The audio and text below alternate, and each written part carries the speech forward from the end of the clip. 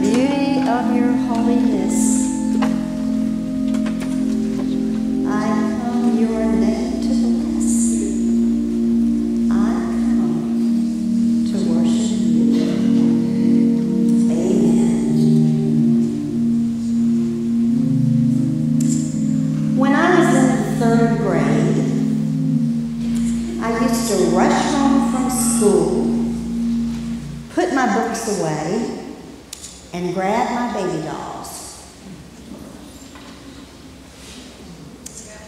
I used to set them up at the coffee table.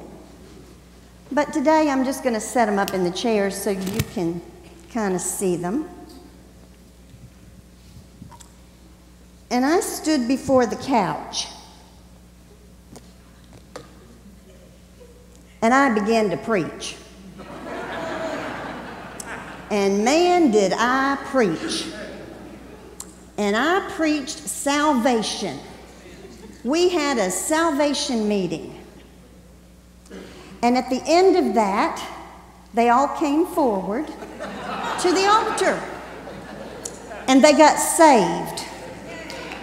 And as was usual at those salvation meetings, they gave testimonies. And then I put them away. I thought I was a great preacher. But I wasn't as good as I thought I was because the next day I got them out, preached, and they all got saved again. It was wonderful for me because I was an officer's child, and at that time, assistants lived with us. I was really lucky because that wonderful lieutenant lived with me. I thought I was very special. All I wanted to do with my life was to grow up and be commissioned as a Salvation Army lieutenant, single lieutenant,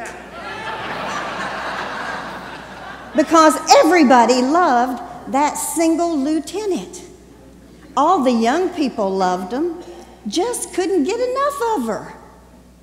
And I thought that was the most special thing in the world to be. That's what I wanted to be commissioned a single lieutenant in the Salvation Army so I could preach the good news about Jesus Christ. Well, that didn't happen. I went to the training college and I was commissioned, but I wasn't no single lieutenant. I had Don Faulkner and two kids. But I was commissioned to go and preach the gospel of Jesus Christ. And that's what we did, all four of us. Because if you talk to my daughter, she will say, when we were commissioned, she's never been commissioned in her life, as far as the Salvation Army is concerned. But she's commissioned. And each one of you who has accepted Jesus Christ as your Savior and Lord have been commissioned too.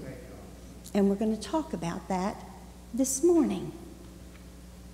The scripture for today just simply says Then Jesus came to them and said, All authority has in heaven and on earth has been given to me. Therefore, go and make disciples of all nations, baptizing them in the name of the Father and of the Son and of the Holy Spirit. And doing what?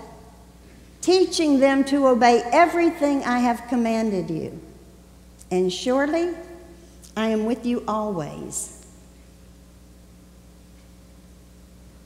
And the one Bible that I used to read said, even unto the ends of the earth. But I am with you always to the very end of the age. And that is very true. And we're going to look at that today. I want to thank Captain's Bell for allowing me this privilege, and it is a privilege to stand behind this sacred desk, and I don't take it lightly. Join me in prayer, please. Heavenly Father, may your words flow from your holy book to our seeking hearts and teach us to live according to your commission. In your Son's name, amen.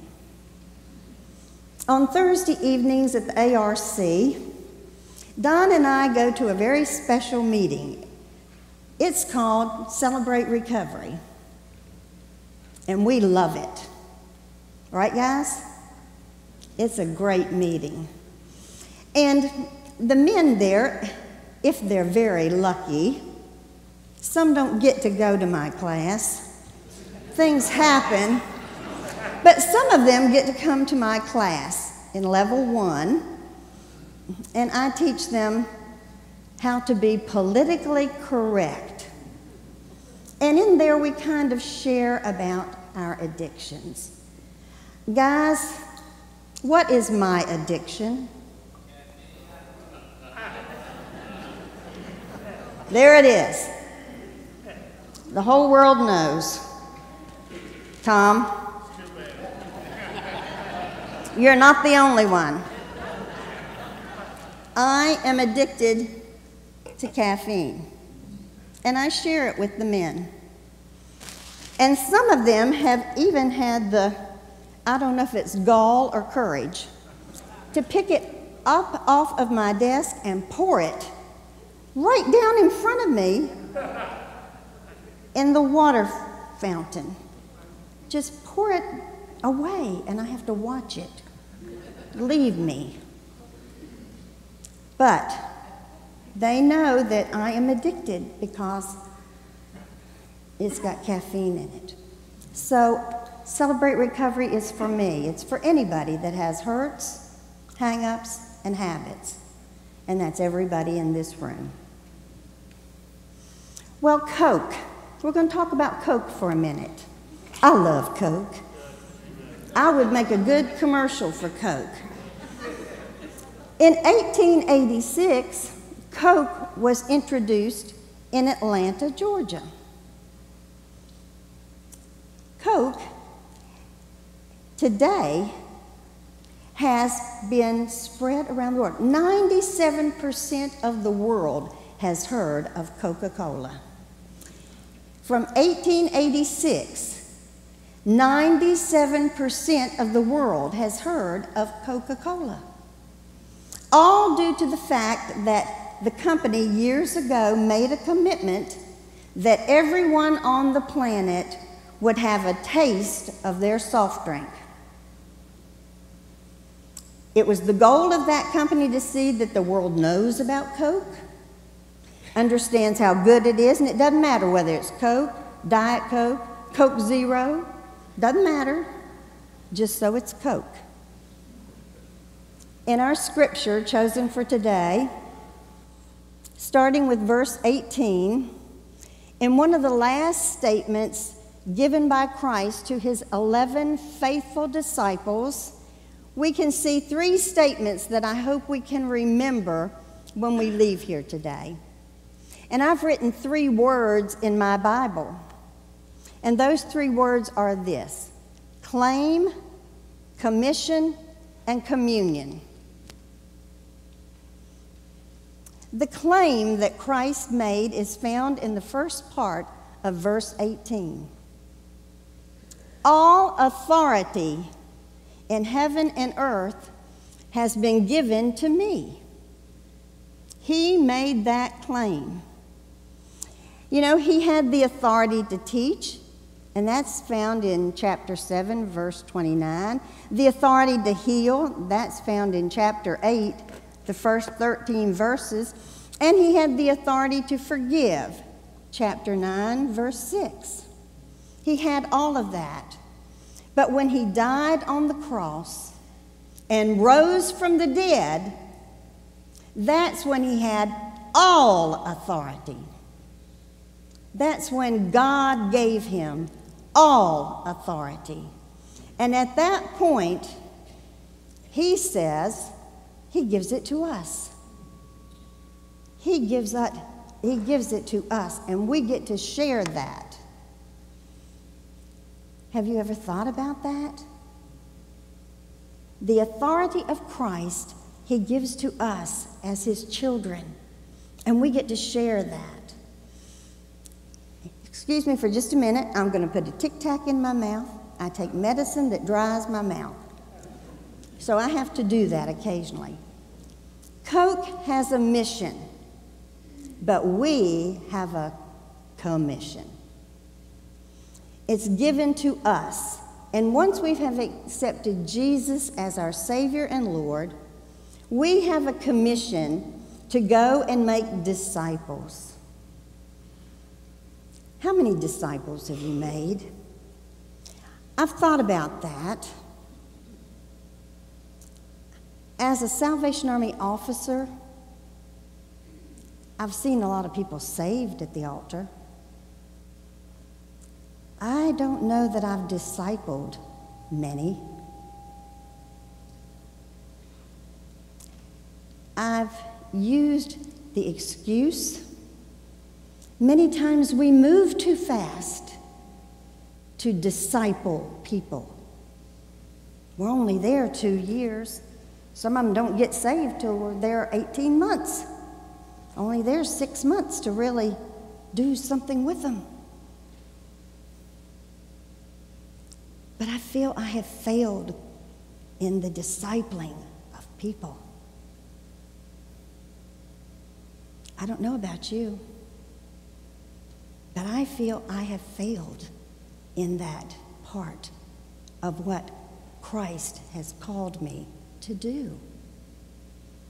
And as I looked at this verse, these verses, but especially this verse, and thought about it, I don't think it matters whether a, we're a brand new convert or whether we're a commissioner that's been on the road for 80 years.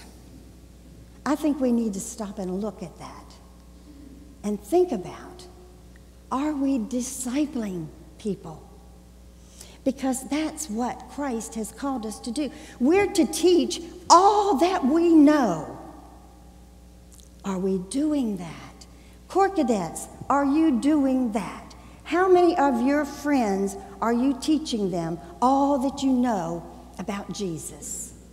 Candidates, how many of your friends are you teaching all that you know about Jesus? You see, it doesn't start when you sign the Corps Cadet application. It doesn't start when you sign the candidate's application.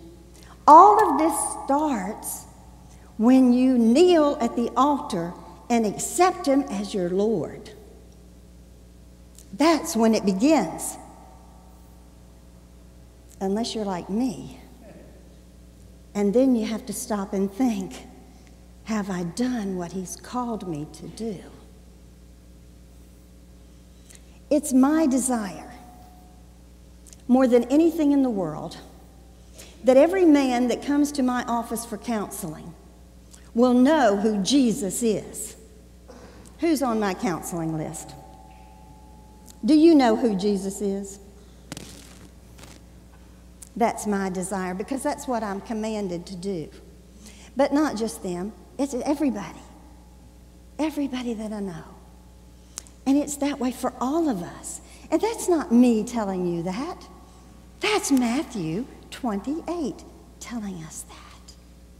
And that's why we need to look at it. That's the commission that we need to have.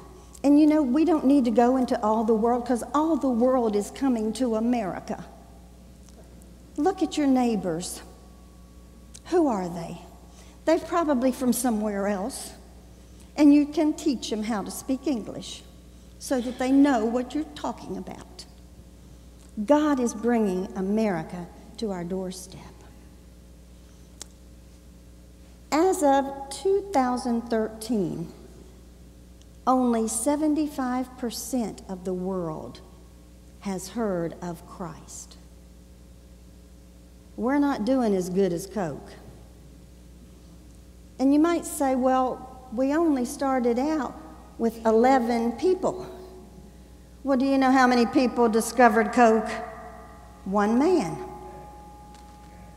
And he just hired two or three people to get started. And now, 97% of the world knows about Coke. We should be challenged to share the message of forgiveness of sins in Jesus Christ. And to help us, the Southern Territory, God bless them, has a mission statement written by the Cabinet and the Divisional Commanders under the leadership of then Territorial Commander Philip Needham. And it says this Salvationists of the USA Southern Territory are answering God's call to make radical followers of Jesus Christ who love inclusively, serve helpfully, and disciple effectively in the communities where they live. Are we doing that? I would say yes as a corps, because the men from the center love to come here. They feel welcome. You love inclusively.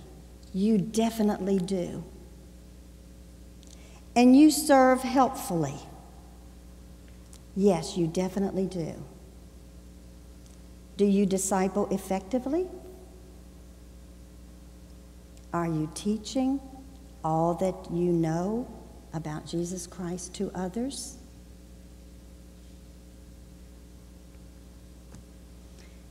Being commissioned and ordained as a Salvation Army officer is a very special event in the life of a person called by the Lord to serve Him in this way. And there are many people in this congregation who would stand up and testify and share that experience if they were called to do so. And they would be proud to share it. But the thing is, once we have accepted Christ as Savior and Lord, he, he commissions all of us. And we all need to be about the business of making disciples and teaching them what Christ has taught us. On this Corps Cadet and Candidate Sunday, I believe we are commissioned. And we're commissioned to begin this as soon as we are called to love and serve the Lord. And when we make a decision to join a church, we need to be fruitful and already begin making disciples and teaching them God's Word. And how do we get the strength and courage to do that? We're just clay vessels. Well, we get that when we seek the communion that He offers. And He states that in the last part where He says, And surely I am with you always to the very end of the age. A little three year old boy wanted to learn how to tie his shoes. And he got so frustrated, he kept trying and trying, and he couldn't. And finally, one day, he was able to tie his shoes. He was so excited. His mother was so excited, but he wasn't excited at all. So finally, she said to him, Ronnie, why are you not excited? You've been trying and trying to tie your shoes, and I thought when you finally learned how, you'd be so bubbly I couldn't stand you. And he said, Well, Mom, it's this way. I just finally realized now that I know how to tie my shoes, I got to do it for the rest of my life. you know, we get really excited when we first know the Lord and we just want to read His Word and study and know more about Him. And that communion with Him is so wonderful. I can hardly stand it when I get my Holy Ghost goosebumps. But you know, after a while, it gets to be, well, I don't have time to read all my devotions today. Or I don't have time to read to do my regular prayer time. So, okay, Lord, you know who I'm praying for, so you take care of it. And we just kind of drift away from it, and we don't do what we normally do. Next day, we just don't read the scripture. And finally, we've drifted away.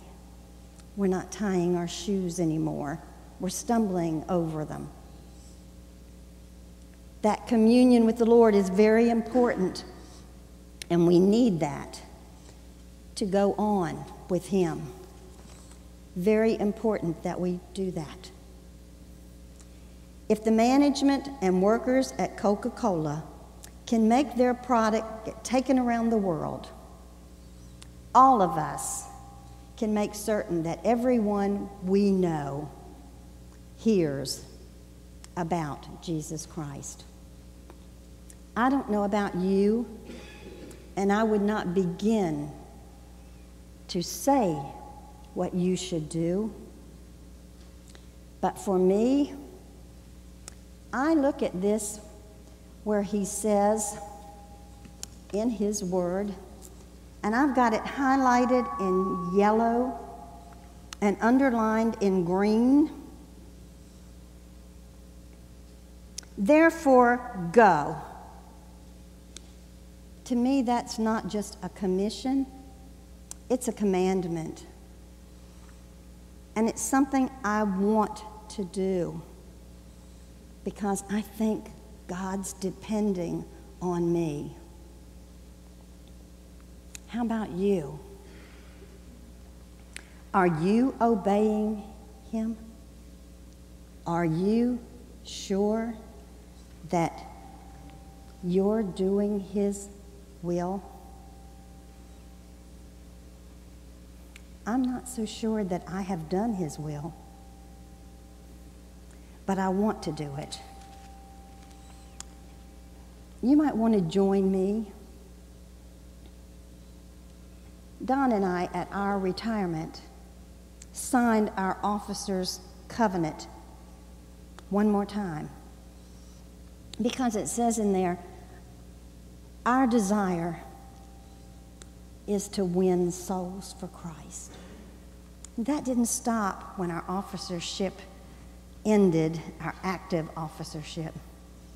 That's still our desire. I want to be a disciple maker for Jesus Christ. Maybe you do too. Maybe you want to say to him one more time, all that I am, all I can be, all that I have, all that is me, accept and use, Lord, as you would choose, Lord, right now, today. Take all my passion, all my dreams, take all my dreams and bend them to your will, because that's what I want my all I give, Lord. For you I'll live, Lord. Come, what may. The altar is open. God's word has been preached. The commission has been given. And the Holy Spirit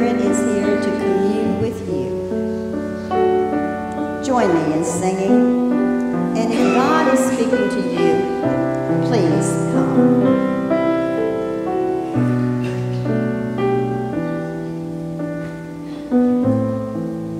And my dolls have listened. All